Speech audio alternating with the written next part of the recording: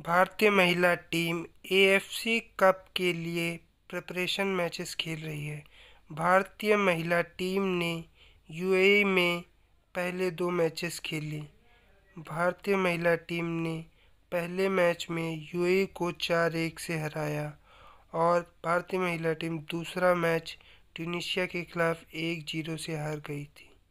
भारतीय महिला टीम अब अपने अगले दो मैचेस बहरीन में खेलेगी।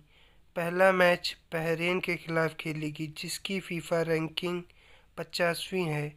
भारतीय महिला टीम का मैच 10 अक्टूबर को बहरीन के खिलाफ होगा।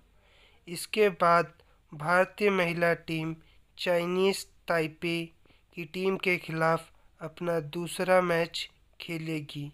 चाइनीज़ ताइपे टीम की फीफा रैंकिंग चालीसवीं है।